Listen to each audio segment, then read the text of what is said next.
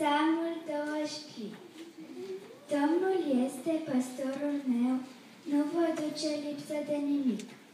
El mă paște în pășun vers și mă duce la apă de odihnă. Îmi înviorează sufletul și mă povățuiește pe cărări drepte din pricina numelui său. Chiar dacă ar fi să umblu prin valea umbrei morții, nu mă tem de niciun rău, că Tu ești cu mine. Tăiacul și năioa ta mă mângâie.